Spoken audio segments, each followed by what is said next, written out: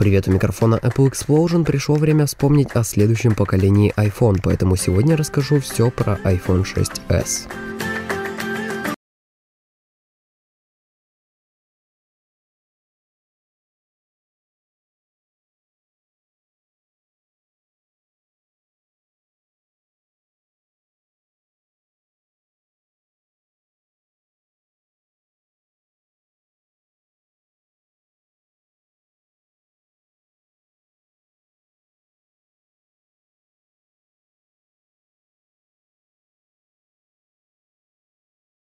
Смартфонов, добавив новые способы ввода, а также поддержку рукописных жестов. К сожалению, использование Force Touch станет тем бутылочным горлышком, которое ограничит производственные возможности поставщиков на начальных этапах. Основная камера дорастет до 12 мегапикселей, а также появится дополнительный микрофон рядом с динамиком, чтобы повысить качество передачи речи. Смартфоны будут оснащены системой на чипе A9 а и 2 гигабайтами оперативной памяти. Биометрический сенсор Touch ID будет улучшен. Также ожидается появление поддержки управления жестами благодаря наличию Force Touch. Кроме того, Apple решит проблему сгибания смартфонов, добавив дополнительные материалы в состав корпуса, а также изменив его внутренний дизайн. Производство iPhone 6s и iPhone 6s Plus стартует в августе, а до конца года будет произведено от 80 до 90 миллионов устройств. Соотношение будет 2 к 1 в пользу 4,7 дюймовой модели. Пожалуй, на введении достаточно, чтобы назвать обновление с литерой S удачным.